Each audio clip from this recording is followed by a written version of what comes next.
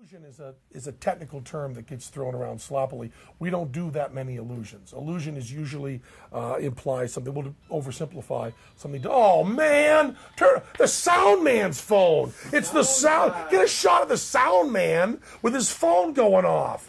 Talk about it came on. That's it came on. Oh yeah, it's possessed. Uh, yeah, God came to your fucking phone and turned it on. Oh, it turned itself on. Jesus Christ! If you're gonna lie, have some chance. Get He the needs to fuck read away your book. It. If you're gonna lie, you need to read It this turned book. itself on. Did you hear him say that? Did you get that on camera? You lying sack of shit. You piece of crap. The word sorry would have done fine for you, motherfucker. Not it turned itself on. How about I'm sorry? Mea culpa, mea maxima culpa. That would have done fine. Latin or English. I'm sorry. But it turned itself sorry, on. Ken. Well, that's all we needed. Thank you. I have a book. I have a book for you. I have a book just for That's you. That's all we needed, right? I'm sorry. That's all it's called for. No problem at all. Did no harm at all. I'm so distracted. What were we talking about? We were talking about uh, my book.